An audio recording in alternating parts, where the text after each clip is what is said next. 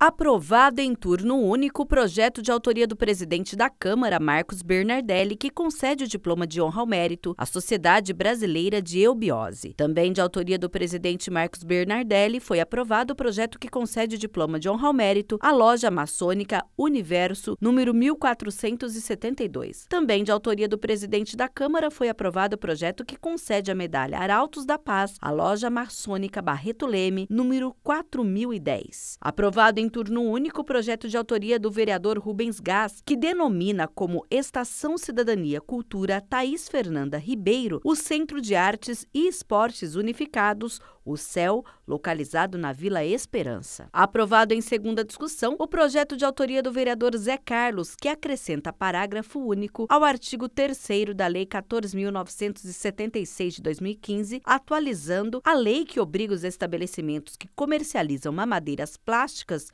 no município de Campinas a fixar em suas dependências cartazes ou placas alusivas ao cumprimento de Resolução Federal de 2011. Aprovado em primeira discussão, projeto de autoria dos vereadores Jorge da Farmácia, Luiz Cirilo e Zé Carlos, que acrescenta parágrafo único à Lei 14.789 de 2014, que trata do atendimento prioritário no município de Campinas. Em turno único, foi aprovado o projeto de lei de autoria do vereador Carmo Luiz, que institui o mês Fevereiro Violeta, dedicado à realização de campanha pela erradicação do analfabetismo em Campinas. Também em turno único foi aprovado o projeto de autoria do vereador Paulo Haddad, que denomina como Praça Sérgio Neujeski o sistema de lazer do município no residencial Pedro Alta, no distrito de Souza. Essas matérias aprovadas em turno único seguem para a sanção do prefeito.